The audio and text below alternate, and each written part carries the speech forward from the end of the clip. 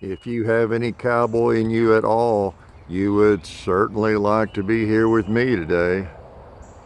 Is that a beautiful sight? I think so. And guess what? I am going to shoot several of them in a little while. Could call it cowboy paradise. Yes, life is good.